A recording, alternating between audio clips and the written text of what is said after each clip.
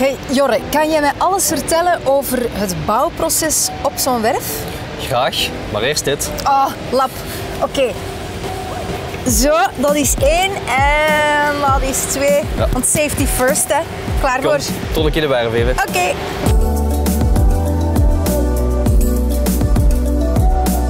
Jorre, hoe starten jullie nu juist een werf? Ik veronderstel bij het leggen van die allereerste steen. Klopt, maar eerst drinken we een glaasje champagne. Champagne? Verkoop van de werf, ja. Je- Nog voor jullie beginnen drinken jullie al champagne? ja. En Is dat echt? Klopt. En dan vliegen we erin. Dus het is ook dankzij onze 3D-tekeningen die door onze projectvoorbereiders worden gemaakt, zodat dat wij op de werf eh, makkelijk kunnen bouwen volgens prefab-elementen en op weinig problemen stoten. Ja. En natuurlijk ook dankzij onze eigen productielijn in staal en beton.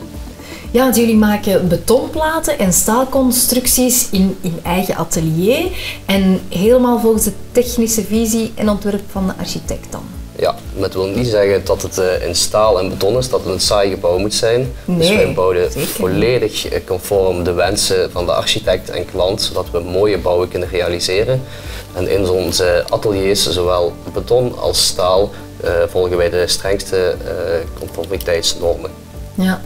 Jorre, planning, dat is meestal wel een probleem in de bouw als ik het eh, zo'n beetje hoor, maar ik heb ook gehoord dat dat bij jullie anders is. Klopt dat? Dat klopt. Bij ons is de planning heilig.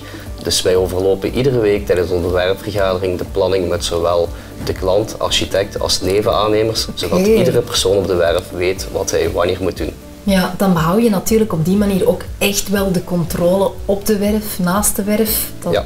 Zo werkt het wel, ja. Klopt volledig, zodat een klant op beide oren kan slapen. En als hij dat niet zou kunnen, dan kan hij altijd bij mij terecht als verantwoordelijke van de werf, zowel eh, tijdens de bouwwerken als na oplevering. Dus ook na, dus als de bouw er al staat, dan kunnen ze jou nog Ja, contacteren. altijd. Oké, dankjewel Jorre. Graag gedaan. Toekomstgericht bouwen als ondernemer, dat doe je met een gerust hart bij Altes. Vanaf het eerste gesprek denken ze met jou mee, met jouw verhaal en leggen ze een stevige fundering voor een vlot verloop van je bouwtraject en een gebouw dat eigenlijk helemaal aan jouw verwachtingen voldoet. Bij Altes kies je voor vlotte communicatie, kostenbewuste en kwalitatieve materialen en een super strakke planning.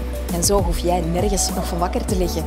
Zoek jij ook een bouwpartner die met je meedenkt vanaf het eerste gesprek tot de feestelijke opening van jouw nieuwe gebouw?